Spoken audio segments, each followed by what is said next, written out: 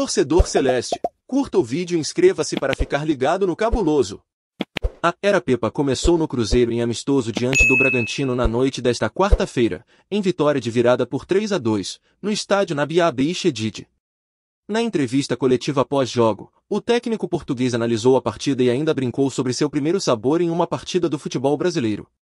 Nunca fui tão xingado no banco, também tenho que me adaptar, estou chegando agora. O Cruzeiro saiu perdendo por 2 a 0 no primeiro tempo, mas acabou virando o placar no segundo tempo, com gols de Matheus Vital e Machado. Pepa emitiu um alerta para os jogadores, valorizando a parte física como ponto fundamental para a titularidade. Os jogadores do Brasil têm muita qualidade técnica, a bola raramente sai, o que dá ritmo ao jogo. Quem não estiver no topo, em termos físicos, de disponibilidade, não tem hipóteses de jogar, é uma guerra tremenda. No comentário sobre o jogo, Pepa observou que o Cruzeiro teve dificuldades nos rebotes, dando campo de frente para o Bragantino.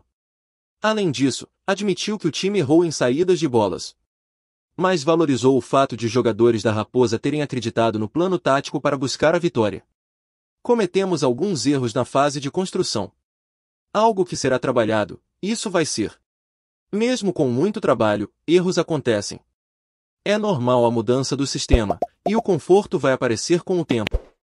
Mas arrisco a dizer que a equipe nunca se desligou. Te vejo logo com mais notícias do Cruzeiro.